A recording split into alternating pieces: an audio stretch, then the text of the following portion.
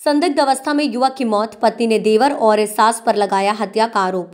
Police ने शुरू की जाँच। शिवपुरी ज़िले के रन्नौत थाना क्षेत्र में घरेलू विवाद के बाद एक युवक की मौत का मामला सामने आया है।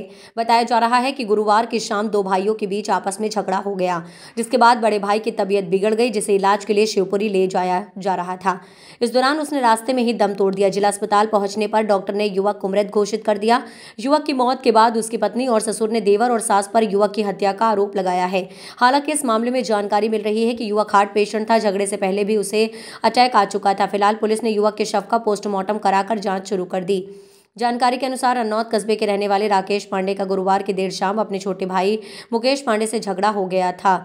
बताया जा रहा है कि शराब पीकर आए मुकेश पांडे ने अपनी भाभी के साथ गाली गलौज कर दी। इसी बात को लेकर दोनों भाइयों के बीच झगड़ा हो गया है। जिसके बाद राकेश पांडे की तबीयत बिगड़ गई जिसे इलाज के लिए शिवपुरी ले जाया जा रहा था जहाँ राकेश पांडे ने रास्ते में दम तोड़ दिया। पति की मौत के बाद पत्नी कल्पना पांडे ने देवर मुकेश पांडे और सास मुन्नी पांडे पर पति की हत्या का आरोप लगाया है। क्या नाम है आपका? मेरा नाम भवानी शंकर। कहाँ के रहने वाले? गुरकुदवाया गुरकुदवाया अच्छा ये कौन थे आपके जो खत्म हुए? मेरे दमाम। क्या नाम था इनका? राकेश पांडे। राकेश पांडे? कहाँ रहते थे? रन और किस बात को लेकर झगड़ा वगड़ा हो गया था? ऐसी थोड़ी सी मामूली विवाद दारू पीता उसका उनका भैया। हम्म, और दारू पी गाली बकता है बच्चों को मैं मेरी लड़की को गाली क्या नाम है उनका? मुकेश। मुकेश पांडे। हाँ। फिर? उसने गाली गलौज करी बच्ची को मेरी को। तो उसने मेरे बच्ची का इतना बड़ा बच्चा है उसने फ़ोन लगाया पापा चाचा मम्मी को मम्मा को गाली दे रहे हैं। तो ये आए उनने उससे तो दोनों मैं ताई बेटा माने उसकी मम्मी मुकेश की ये दोनों उनसे चेंट गए चेंट गए इसी आपकी बेटी से? नहीं उसको मेरी धमान से। अच्छा। बेटी तो ऊपर चली गई क्या ऐसा तो जी क्या गिर गए थे? नहीं उसमें घूसा दिया कि लाद दिया मैं तो वहाँ पर थाने को तो बच्चे बताएँगे।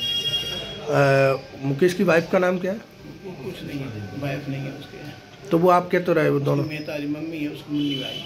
अच्छा माने तुम्हारी बिटिया की सास? सास। अच्छा दोनों ने मारपीट की दमाद की? हाँ। और तो वहीं खत्म हो गए थे कि इलाज के दौरान? नहीं नहीं फिर तो खत्म हो रास्ते में रास्ते में हुए।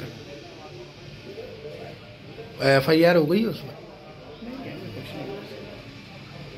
नाम है बहन जी आपका ये कल्पना पांडे कल्पना पांडे अच्छा ये कौन थे जो खत्म हो गए?